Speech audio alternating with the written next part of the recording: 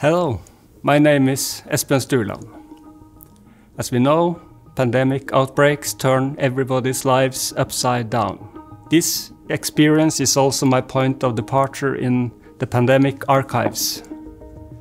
Starting with Daniel Defoe's The Journal of a Plague Year, in, situated in London in 1665. How did Defoe and his contemporaries articulate the death threat confronting social life as a whole? I want to know all about the practicalities in pandemic times, how the infection was experienced and felt. I want to know what radical transformations the society underwent. The authorities' issuing of situational regulations made people's normal life, day to day, difficult. How did people react? What did it make them feel to know that their neighbors got sick when there was nowhere to escape? The stories about the human body and the bodily experiences of illness are important. So easy to understand the contemporary doctor's view on the disease.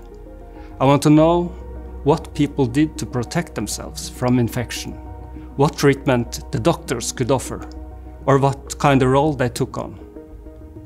I want to know what action the authorities took, to what extent the monarchy held responsibility and concern for the citizens.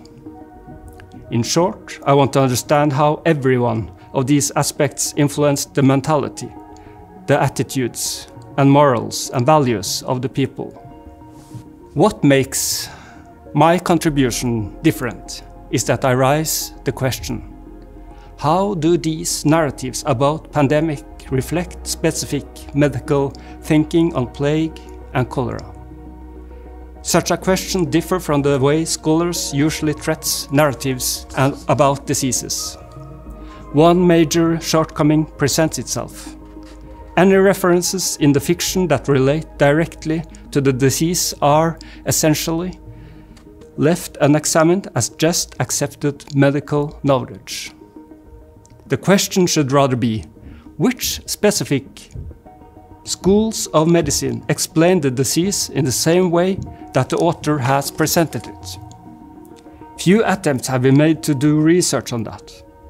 The usual way to write about the fictions is just to accept the disease as something general and undifferentiated.